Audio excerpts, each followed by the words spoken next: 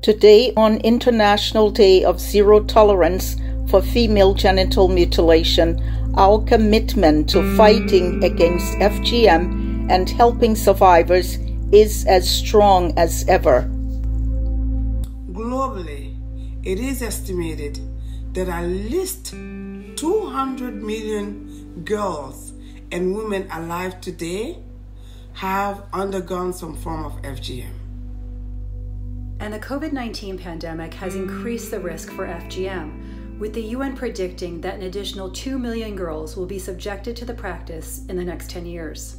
There is no better time than mm. right now to join the fight in ending this violation of girls' and women's health and human rights. We must continue to unite and act not only to end FGM, but also continue to find ways to support girls and women who've undergone the practice.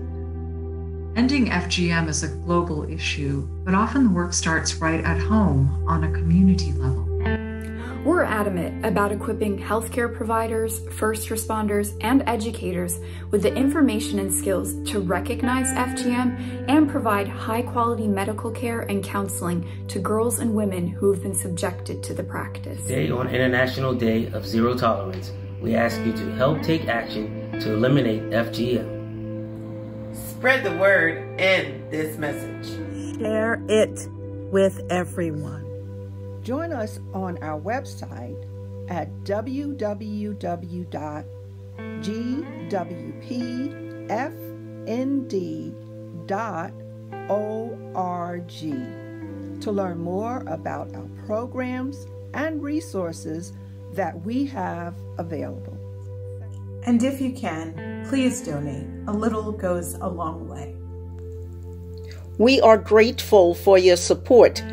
and for joining us in this fight against female genital mutilation. We will continue to work toward a future in which all women and girls are afforded enjoyment of their human rights.